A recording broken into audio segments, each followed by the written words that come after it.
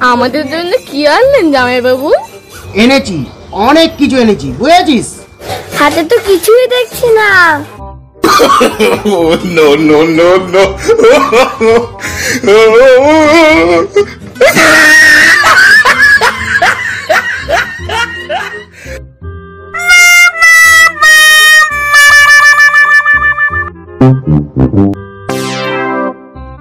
দেখেছ? মজা দেখেছ? কত করে বললাম দুটো মিষ্টি নিতে? কিছুতেই শুনলে না। মেলা ফ্যাচ ফ্যাচ করো না তো বুঝেছ?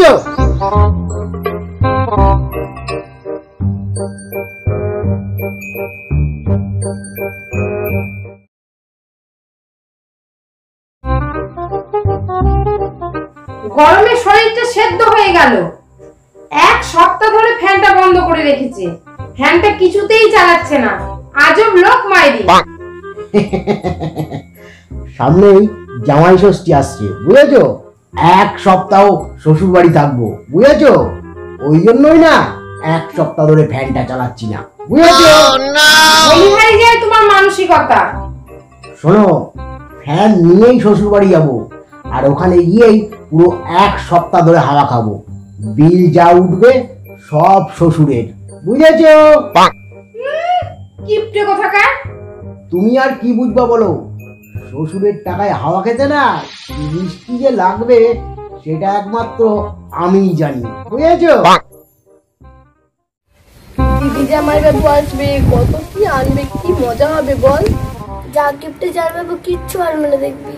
না না অন্য সময় কিছু আনুক বা না আনুক জামাই ষষ্ঠীতে আসছে তো দেখবি ঠিক কিছু না কিছু নিয়ে আসবে। কাজ করা আনবে দেখবি।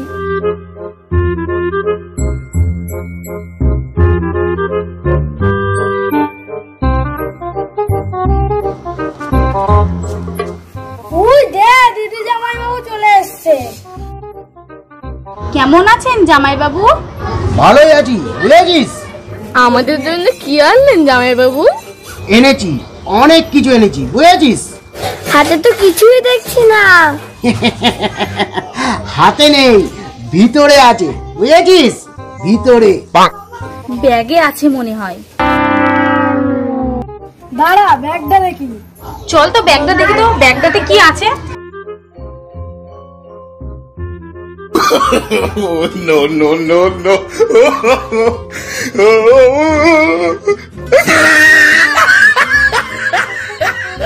এই ব্যাগে তো কিছুই নেই রে।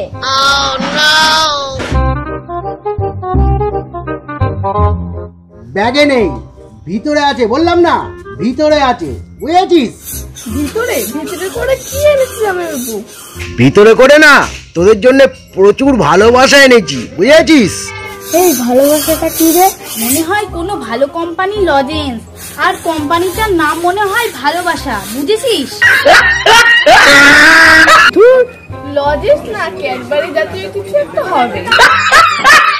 না না লেস বা কুরকুরি টাইপের কিছু হবে বুঝেছিস? ব্যাগের ভেতরে তো কিছুই নেই। ভিতরে মানে কি ধুতির ভেতরে? যা হবে হবে। ধুতি একবার চেক করি দেখি। দেখি আমি একবার চেক করে দেখি ভিতরে করে কি এনেছে জামাই বাবু কাউকে কিছু না বলে আমি ভিতরটা চেক করে দেখি। তাহলে ভিতরে যা আছে সব আমার। কাউকে একটা কানা করিয়ে দেব না। Oh, no, no, no, no.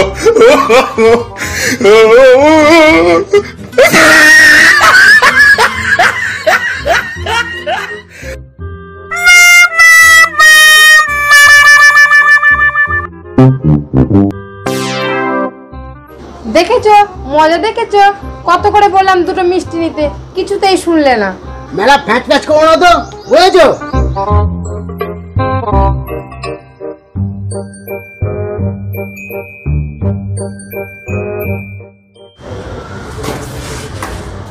ভালো আছেন মা?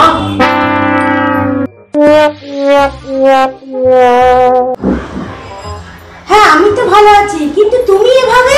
আসলে খুব গরম পড়েছে তো। ওই জন্য এইভাবে বুঝেছেন যাও যাও বাবা যাও ঘরে যাও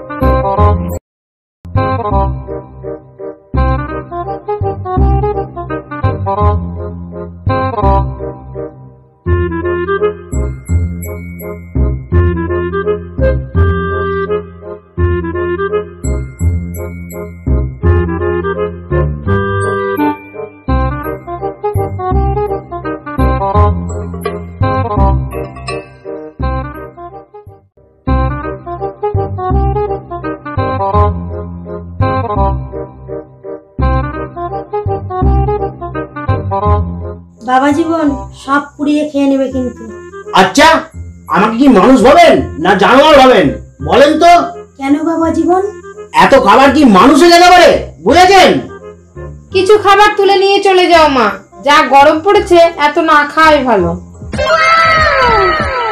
আচ্ছা ঠিক আছে no, no, no, no.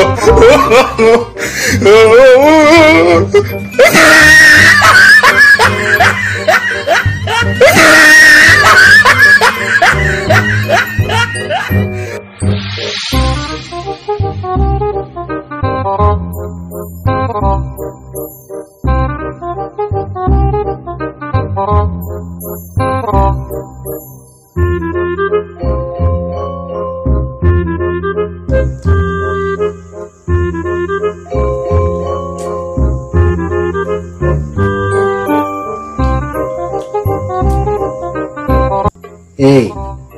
বলছিলাম মাকে কিছু না বলে আর কটা লুচি এনে দাও না গো। বুঝেছ? বেশি স্টাইল দেখাতে গেলে। এবার বোঝো? প্লিজ আর কটা এনে দাও না গো। না হলে না ষষ্ঠীটা পুরো লসে রান করে করবে বুঝেছ? গিলবে গন্ডে পিন্ডে আবার স্টাইল লেখাবে বেশি।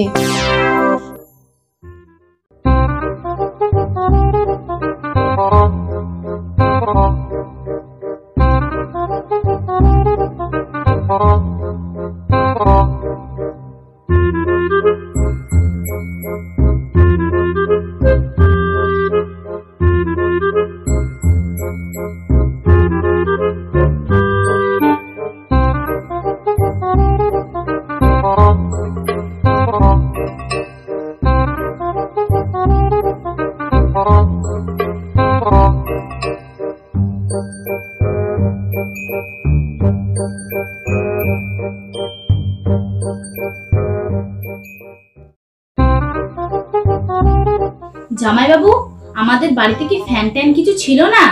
যে ফ্যান একবারে বাড়ি থেকেই বই নিয়ে আসলে? আরে না না এইসব ফ্যান না এখানে পাওয়া যায় না বুঝেছিস? তাহলে বাবা জীবন ফ্যানটা কোথা থেকে কিনেছো? হিমালয় থেকে বুঝেছেন? যখন হিমালয় গেছিলাম তখন না ওখানে ফ্যানের একটা বিরাট অফার চলছিল ওখান থেকেই এনেছি বুঝেছেন? আর ফ্যানের ব্লেডগুলো না পুরো বরফ দিয়ে তৈরি। একেবারে হিমালয়ের বরফ। আর হাওয়াটা না পুরো একেবারে এসির মতো। বুঝেছেন? তাহলে ফ্যানটা না হয় আমাদেরই দিয়ে যান জামাইবাবু। আমরাও একটু এসির হাওয়া খেয়ে দেখব। জামাইবাবু ফ্যানটা আমাদের দিয়ে যান না জামাইবাবু। প্লিজ জামাইবাবু। এই বাদ দে তো সব ফালতু কথা। এই নাও বাবা জীবন জামাই ষষ্ঠীর উপহার।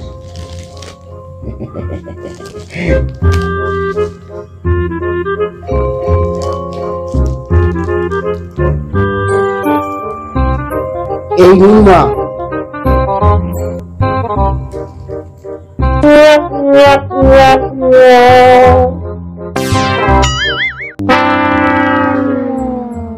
শেষ পর্যন্ত কাঁঠালের বিচি জামাইবাবু? এটা হলো মৃত্যুঞ্জয়ী কাঁঠালের বিচি বুঝেছিস? এটা খেলে না সাতশো বছর বেঁচে দেখা যাবে। বুঝেছিস? হ্যাঁ সাতশো বছর। হ্যাঁ সাতশো বছর বুঝেছিস? ওই হিমালয় থেকেই আনা। বুঝেছিস? জামা প্যান্ট তো প্রতি বছরই দিই বুঝেছিস? ওই জন্যই চিন্তা করে দেখলাম এবার একটু বেশি দাম দিয়ে কাঁঠালের বীজটা নিয়ে যাই। বুঝেছিস? খুব ভালো করেছেন জামাইবাবু। কাঁঠালের বিচি খেয়ে নেব। আর পুরো ছশো বছর প্রেম করব। তারপর একশো বছর থাকছে। বিয়ে থাওয়া করে নাতিপুতি নিয়ে সংসার করব। আমি দুটো খাব তাহলে চোদ্দশো বছর বাঁচবো। মা কাঁঠালের বেশি করে রাখলি তুই আর আমি সব খেয়ে নেব। তাহলে অনেকদিন বাঁচবো বল।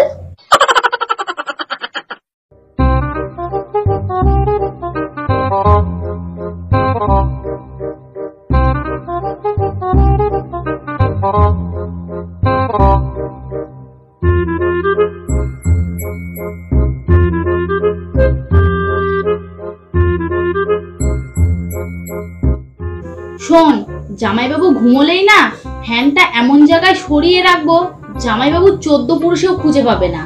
ঠিক বলেছিস হাওয়া খাওয়া পুরো বার করে দেবো। তারপর ফ্যানটা পুরো আমাদের। জামা কাপড় না হাওয়া বার করে ছাড়বো। আগে ঘুমোতে দে। আচ্ছা ঠিক আছে ঠিক আছে।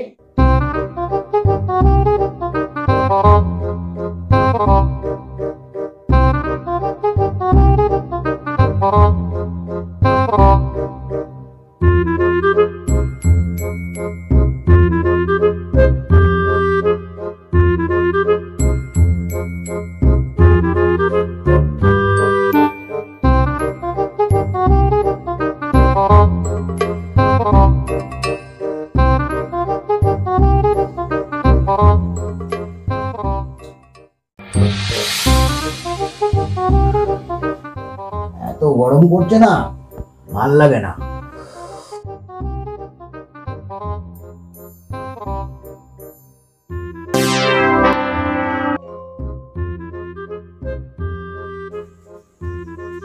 কোথায় গেল?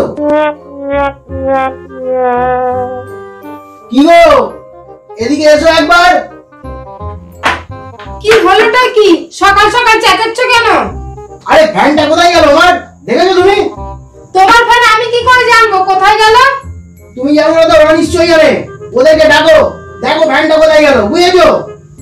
আগে ডাকো শিগগিরি ফ্যানটা অনেক কষ্ট করে কেনা অনেক দাম দিয়ে কেনা বুঝেছ?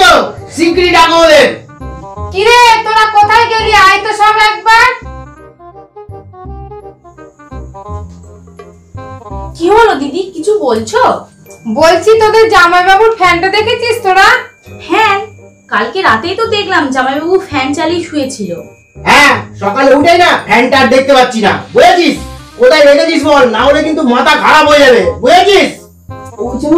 কালকে না পাশের বাড়িতে চুরি হয়েছে। তাহলে মনে হয় চোরে জানলা দিয়ে ফ্যানটা নিয়ে পালিয়েছে। আপনি তো জোরে জোরে নাক ডেকে ঘুমোচ্ছিলেন সেজন্য কিছু বুঝতে পারেননি কাল রাতে কি জোরে জোরে বোম আর গুলির আওয়াজ হচ্ছিল সেটা তো বল জামাইবাবুকে।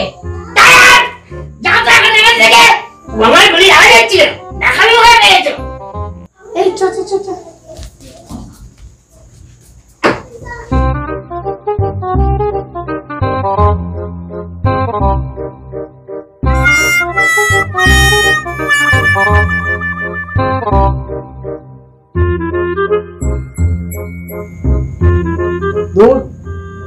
কোথায় গেল? কে লুকিয়ে রাখল? না চুরি হয়ে গেল? কিছুই বুঝতে পারছি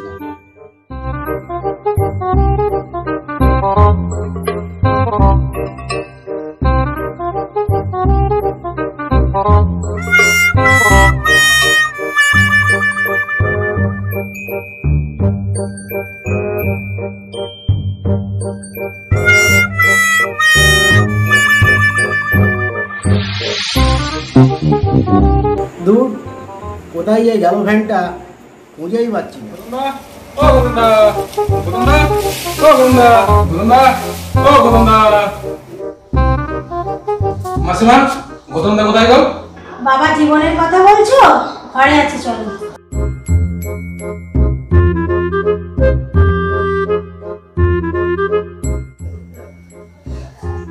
বাবা জীবন তোমাকে ডাকছে?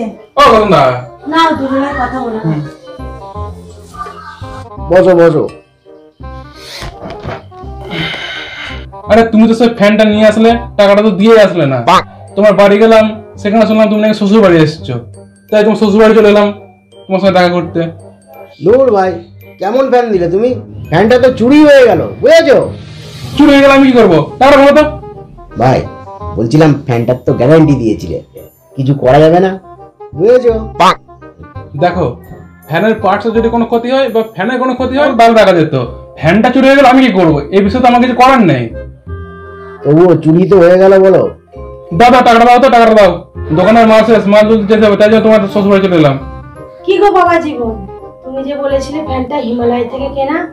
চুরি যখন হয়ে গেল তখন আর হিমালয় আর কাঞ্চনজঙ্ঘা থেকে লাভ কি? বুঝেছেন? না না বাবা টাকাটা দিয়ে দাও।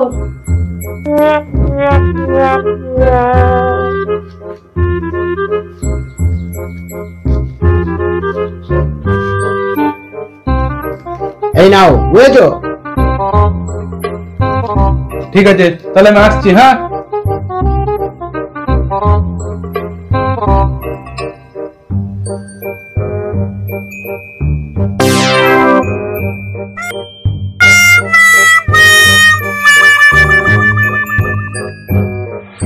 কি হলো